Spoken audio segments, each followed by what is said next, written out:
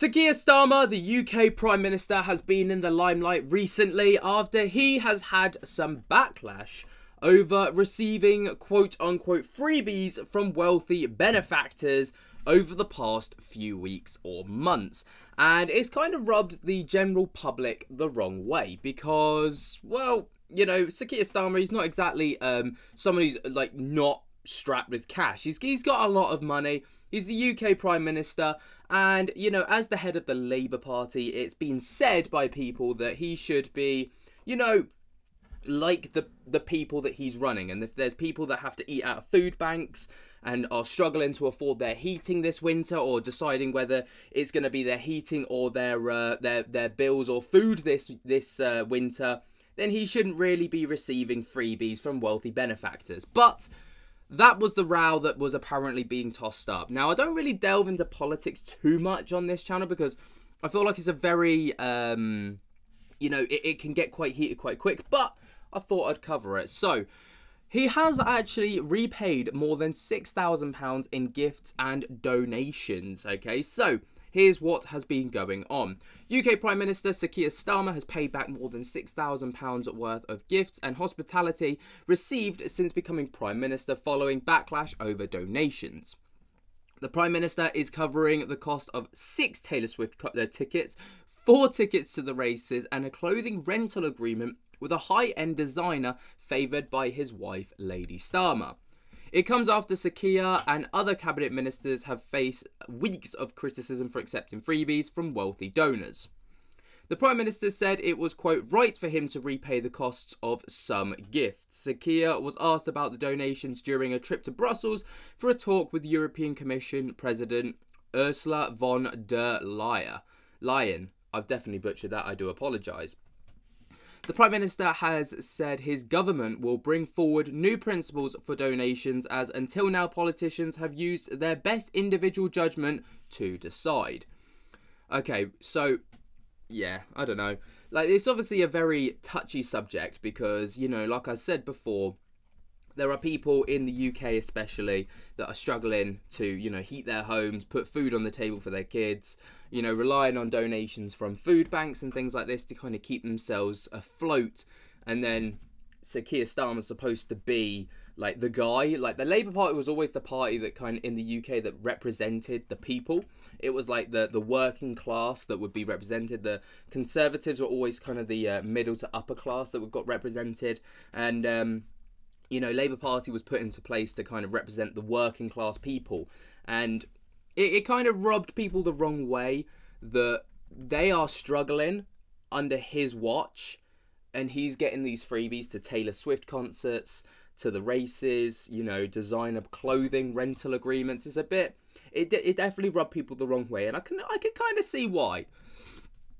Uh, I took the decision that until those principles were in place, it was right to repay those particular payments, he said. Now, again, this is something that a lot of people have criticised because they said that, well, if if if there wasn't controversy or backlash, would he be paying those back? That was the kind of question that was tossed up. Now, again, I don't want to get too political. I don't want this to be like World War Three or seem like I'm, you know, I've got any particular bias. I don't actually care.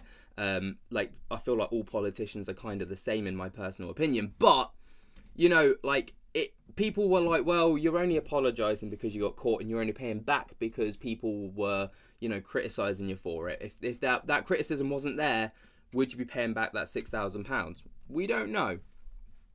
Sir Keir has uh, committed to tightening the rules around ministerial hospitality and gifts to improve transparency. Earlier, a Downing Street spokesperson confirmed that the ministerial code will be updated and will include a new set of principles on gifts and hospitality commissioned by Sir Keir.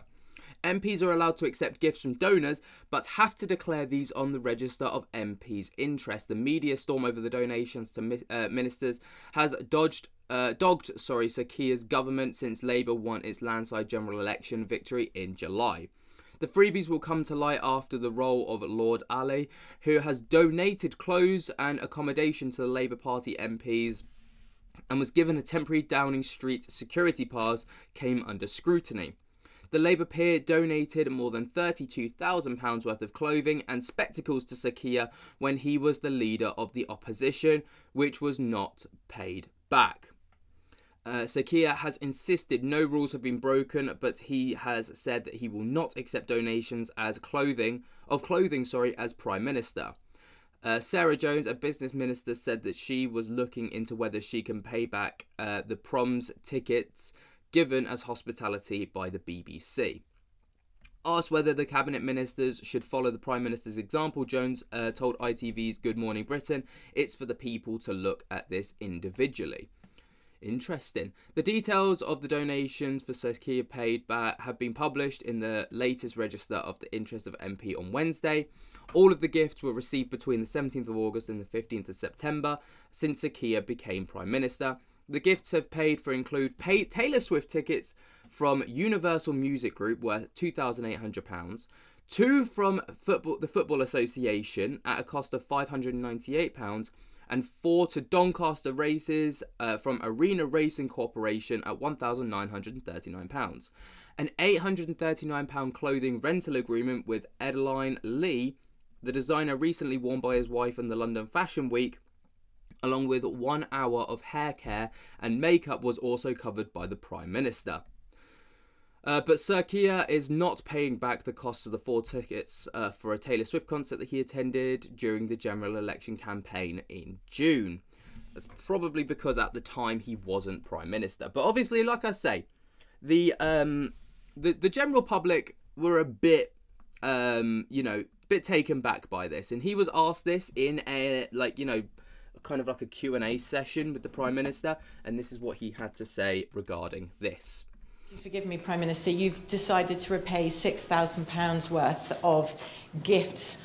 Why now? Why those gifts and not all of them? Have you decided it was wrong to take them or did you come under pressure? Look, um, we came in as a government of change.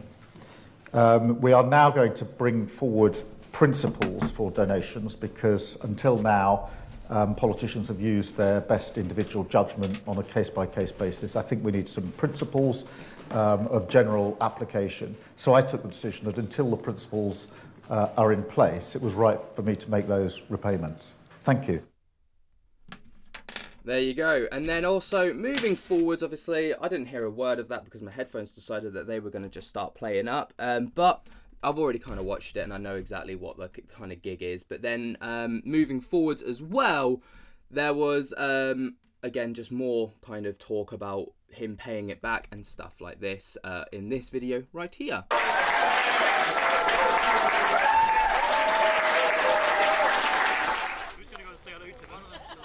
So it says Sir Keir Starmer has paid back more than £6,000 worth of gifts and hospitality that he received since entering. Obviously, entering, kind of being Prime, Prime Minister. Number 10, after a row over ministerial donations. The Prime Minister is covering the cost of six Taylor Swift tickets. Apparently, he's not covering that. We've just read that he's not going to be covering the Taylor Swift tickets, four of the races, and a clothing rental agreement.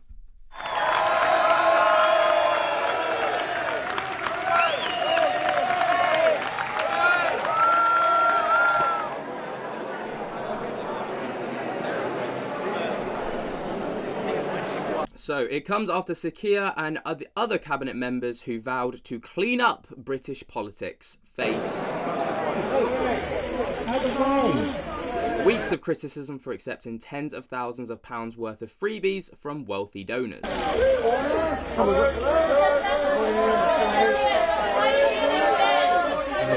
Um, we came in as a government of change.